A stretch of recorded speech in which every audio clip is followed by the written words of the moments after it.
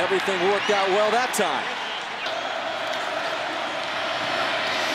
And he keeps it around the right side, and Bonnafon is in.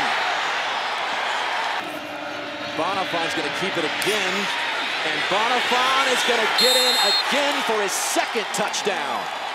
This from 37 yards. Hold is good, and the kick is good. Golson to the far side, and stepping in front for the pick is Charles Gaines.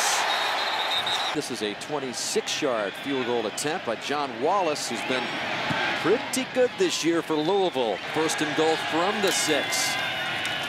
Golson looking for the edge. Touchdown, Notre Dame. Taken by Bryant at the 35. Nice move by Bryant.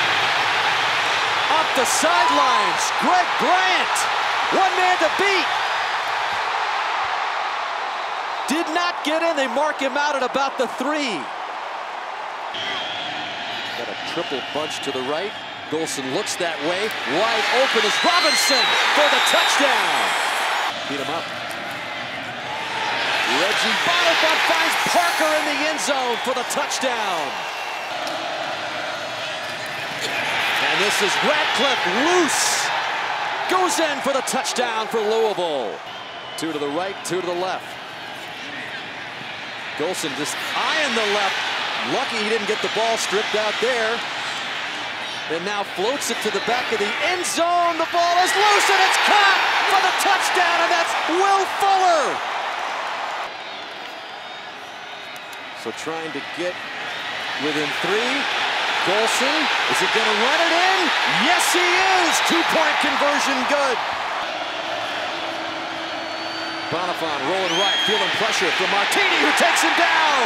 A sack by Greer Martini. Perfect in his career from the 30 to 39 yard distance. This one sailing right and no good.